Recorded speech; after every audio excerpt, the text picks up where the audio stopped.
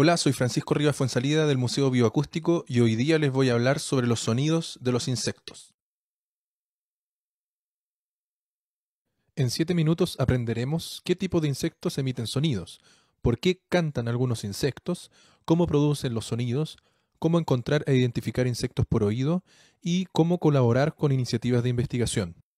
¿Todos los insectos emiten sonidos para comunicarse? La respuesta es no. Solo algunas especies pertenecientes a los órdenes Ortóptera, Hemíptera y Coleóptera principalmente ocupan el sonido con propósitos comunicativos. Si bien casi todos los insectos producen sonidos al moverse, al aletear, no todos esos sonidos tienen el propósito de comunicación. En esta exposición breve nos enfocaremos en el orden Ortóptera, pues aquí encontramos a las especies cuyos sonidos son los más llamativos. Los grupos más conocidos dentro de Ortóptera son los grillos, los saltamontes y las langostas.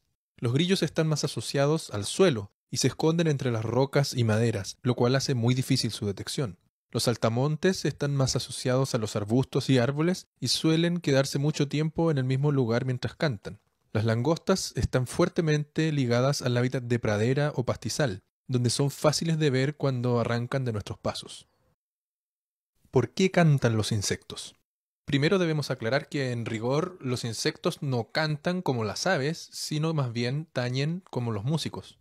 Este sonido, producido por la fricción de dos partes del cuerpo, se denomina estridulación. La principal razón por la que cantan los insectos es para atraer a la pareja. Las hembras detectan a los machos por su canto y se acercan para aparearse guiadas por su oído. Este comportamiento se conoce como fonotaxis. A su vez, las estridulaciones le sirven a los machos para evitar que otros invadan su espacio, estableciendo una suerte de marca territorial. Y en situaciones de estrés, como cuando se enfrentan dos machos o cuando uno es capturado, también emiten una estridulación corta. ¿Cómo producen el sonido? Los ortópteros pueden producir sus cantos de dos maneras diferentes. Los saltamontes y los grillos lo hacen utilizando unas estructuras llamadas tégmenes, los tégmenes son similares a las alas, pero generalmente están sobre ellas, tienen patrones crípticos, es decir, les sirven de camuflaje, y son más duros que las alas reales. Bajo el tegmen izquierdo encontramos la fila estriduladora, que es una estructura angosta y alargada con dientes microscópicos. En el tegmen derecho encontramos el raspador o vena estriduladora, que es una estructura sobresaliente y lisa usada a modo de plectro para raspar la fila. Las langostas, en cambio, frotan los fémures traseros contra el abdomen o los tégmenes, encontrando insectos por oído. Antes de empezar con nuestra búsqueda, debemos saber que tendremos que ser muy pacientes. Hay algunas especies que no vamos a poder detectar porque sus estridulaciones son ultrasónicas, o sea, están más arriba de lo que podemos escuchar. Y hay otras especies cuyas estridulaciones son también agudas y sin ser ultrasónicas también va a ser muy difícil que nosotros podamos encontrarlas, sobre todo para los hombres, como explicó Esteban en el video anterior, que vamos perdiendo mucho más rápido nuestra capacidad auditiva para detectar frecuencias agudas. Una vez que ya detectamos de dónde viene un sonido de un insecto, tenemos que acercarnos muy lentamente hacia ese lugar y nos vamos a dar cuenta que quizá nos va a costar encontrar el punto exacto donde está el insecto, porque a veces son muy pequeños y las frecuencias agudas son difíciles de localizar con precisión. Entonces lo que vamos a hacer es mover nuestra cabeza hacia los lados y donde se escucha igual por ambos oídos, ahí es donde debería estar el insecto. Y después hacemos lo mismo, eh, pero en el eje vertical.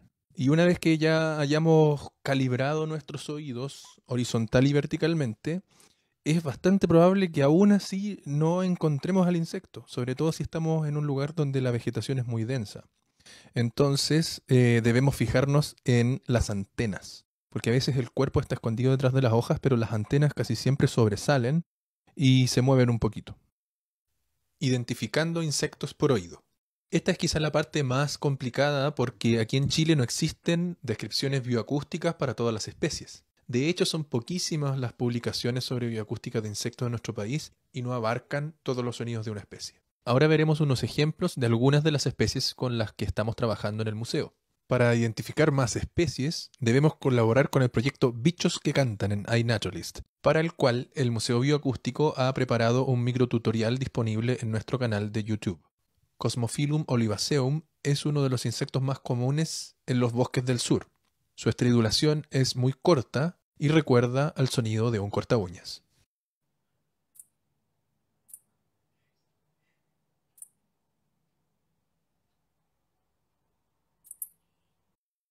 Marenesta inconspicua es pariente del Cosmophyllum, pero de menor tamaño, y su estridulación es más difícil de detectar, pues es más suave y aguda, y se caracteriza por aumentar y disminuir la intensidad y el ritmo constantemente.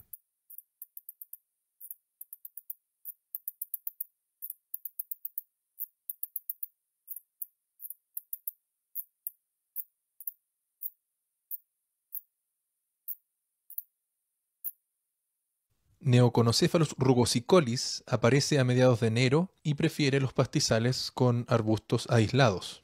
Su estridulación es sumamente fuerte y larga, llegando a ser ensordecedora cuando uno se acerca al insecto.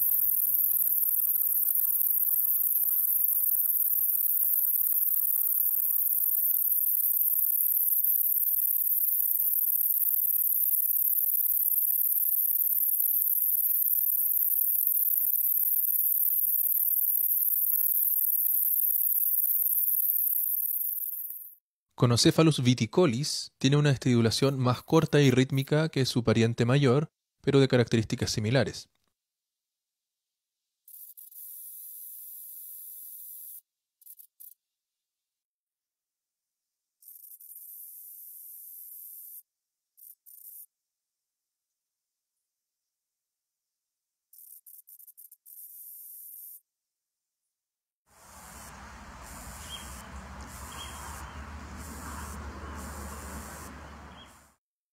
Muchas gracias por quedarte hasta el final del video.